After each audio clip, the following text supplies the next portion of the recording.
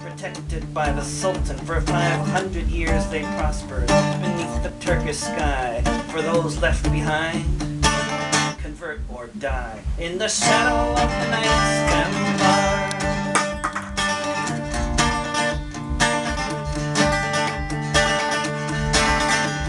They say he acted alone, but he's living in a country where the xenophobic right is the second biggest party, and he's living on a continent that is overrun with prime ministers who tell us multiculturalism is done.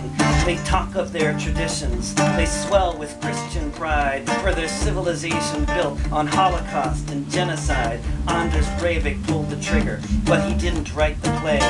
That script was being written a thousand years ago today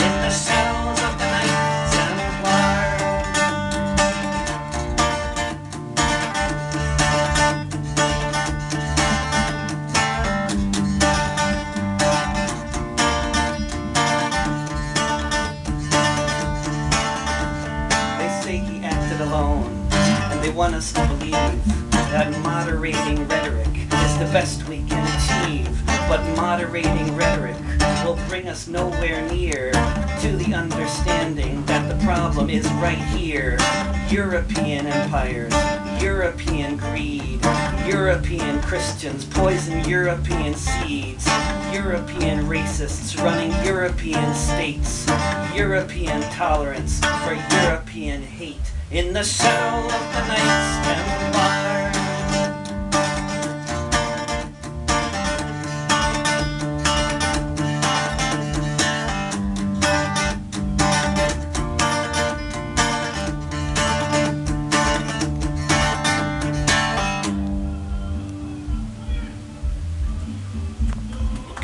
David, thank you for coming. Uh, really nice, and uh, I must say that uh, I really wonder where did he get it? How did he get it? Lyrics. Thank you. Thank you. I think we should hear another song that uh, um, that made an impression on last day's uh, concert.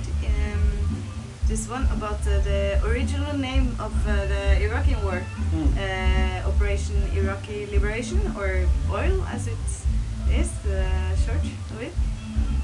Here you go, David Rovics with Operation Iraqi Liberation.